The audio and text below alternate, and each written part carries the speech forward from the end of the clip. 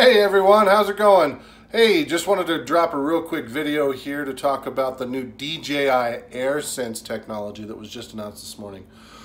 Um, watch the video. I know as much as maybe you guys do by watching the video, but I can tell you that I think it's a fantastic idea.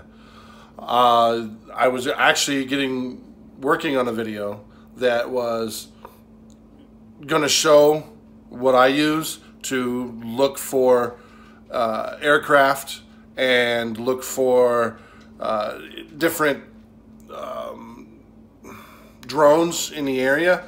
And well, DJI has basically beat me to the punch uh, by adding the AirSense standard technology on every drone over 250 grams. So what that means is every drone the DJI makes from the Spark all the way up to the Inspire 2 is going to have this new technology, which is going to be fantastic. It's going to make our hobby a lot safer and it's going to make our hobby a lot more enjoyable. It's going to reduce the chances of anything catastrophic happening. So if you're like me, you should be excited about the technology. I know I've read some comments that people are saying, "Oh, good job. The government can can now go ahead and track us, and now they're going to really, you know, crack down on us being over 400 feet." Well, you shouldn't be over 400 feet anyway. I'm just saying. You get up that high, it looks like Google Maps. What the heck do you want to be up there for, right?